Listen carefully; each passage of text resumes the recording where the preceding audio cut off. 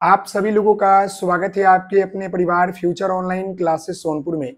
और जैसे कि आप सभी लोगों को पता है कि बिहार डीएलएड एंट्रेंस एग्ज़ाम 2024 का फाइनल रिज़ल्ट जो है जारी हो चुका है। और अब हम जो है काउंसलिंग प्रक्रिया को लेकर जो है आप सभी लोगों के मन में बहुत सारे सवाल आ रहे हैं और सारे सवालों का जवाब आपको फ्यूचर ऑनलाइन क्लासेस की तरफ़ से दिए जा रहे हैं। तो आपसे निवेदन है अगर आप चैनल पर नए होंगे तो चैनल को लाइक, शेयर एंड सब्सक्राइब जो है ज़रूर कर लेंगे ताकि आपको सारी अपडेट और सारी जानकारी आपको इस वीडियो के माध्यम से मिल सके। साथ ही साथ मैं आपको बताना चाहूँगा कि आपका काउंसलिंग जो है कब होगा काउंसलिंग में कितने पैसे लगते हैं और काउंसलिंग में कितने जो है कॉलेज का चयन कर सकते हैं, ये सवाल आप सभी लोगों के मन में आ रहा है। ऑलरेडी हमने बताया है, लेकिन फिर भी आप लोगों के द्वारा पूछा जा रहा है, इसलिए सारे डाउट को क्लियर करते हुए आगे बढ़ रहे हैं। यहाँ पर आप देख सकते हैं कि इस दिन से शुरुआत होगा काउंसलिंग काउंसलिंग कब से होगा, या काउंसलिंग में कितने फ़ी लगते हैं, ये सारी जानकारी आपको हम बताने वाले हैं। तो सबसे पहले मैं आपको बता दूँ कि जो ये आपका काउंसलिंग है, वो कब से स्टार्ट होगा? तो यहाँ पर ध्यान दीजिएगा, जो ये आपका काउंसलिंग है ना तो ये आपका काउंसलिंग स्टार्ट होने वाला है। ये आपका जो है 22 से लेकर 28 जो है, जून 2024 के बीच आपको जो है, जारी हो जाएगा नोटिस यानी कि इसके बीच आपको देखने को मिलेगा। यानी एक सप्ताह आपको काउंसलिंग करने का तिथि मिलता है। अब रही बात कि जो ये आप काउंसलिंग करेंगे तो काउंसलिंग कौन कर सकता है? काउंसलिंग वह बच्चे कर सकते हैं जो डीएलएड एग्ज़ाम पास है। डीएलएड जो है पास है, यानी कि वैसे बच्चे जिनका स्कोर कार्ड क्या है कि अगर आप जनरल ओबीसी ईडब्ल्यूएस ईबीसी है तो आप सभी लोगों का अगर 42 नंबर से ऊपर है पास है तो आप कर सकते हैं। वहीं पर अगर आप जो है एससी एसटी या पीएच वाले बच्चे हैं तो आपका 36 नंबर होना चाहिए। ये बच्चे कर सकते हैं। अब रही बात कि क्या जो आपका काउंसलिंग होता है, इसको करने में पैसा लगता है? तो हाँ भाई हाँ बहन, आपको पैसा देना पड़ता है। यानी कि काउंसलिंग करना है। कोई भी अगर बच्चा काउंसलिंग करेगा तो काउंसलिंग फ़ी आपको देने पड़ेंगे। यह काउंसलिंग फ़ी आपका जो है, क्या है?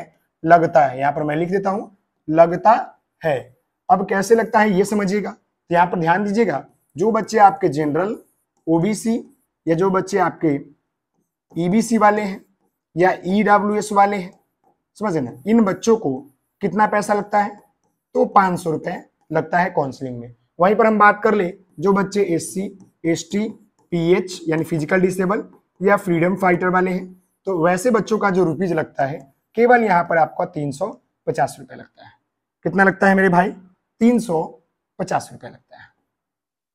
वन मिनट ये आपका जो है तीन सौ पचास रुपया लगता है। क्लियर है?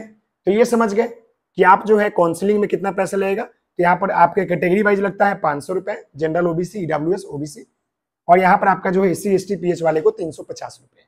समझ गए? अब रही बात काउंसलिंग जो है, उसमें कितने कॉलेज ले सकते हैं? तो जब हम काउंसलिंग करेंगे तो काउंसलिंग में हम लोग जो है पाँच से लेकर तीस कॉलेज का चयन कर सकते हैं। समझ गए? और मेरे अनुसार आप जो है, तीस कॉलेज ज़रूर चुनिएगा। तीस कॉलेज का जो है, आप लोग चयन कीजिएगा। और इसके रिगार्डिंग मैं आपको बताऊँगा लिस्ट बताऊँगा डिस्ट्रिक्ट वाइज बताऊँगा तो आपको परेशान नहीं होना है।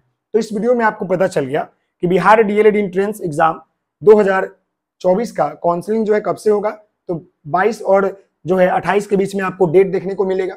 साथ ही साथ मैं आपको बता दूँ नोटिस देखने को मिलेगा। और डीएलएड पास पासिंग मार्क्स जो है, जिनका बयालीस और जिनका जो है छत्तीस नंबर आ रहा है वह जो है काउंसलिंग कर सकते हैं। काउंसलिंग करने में जो पैसा लगता है वो आपका जनरल ओबीसी ईडब्ल्यूएस ईडब्ल्यूएस और ईबीसी को 500 और यहाँ पर आपका एस सी एससी एसटी और पी एच और फ्रीडम फाइटर को 350 वहीं पर आप कॉलेज जो है कितने चुन सकते हैं तो 30 कॉलेज का चयन कर सकते हैं। तो आशा करते हैं कि आपको ये वीडियो जो है पसंद आया होगा। सारी जानकारी आपको मिल गए होंगे।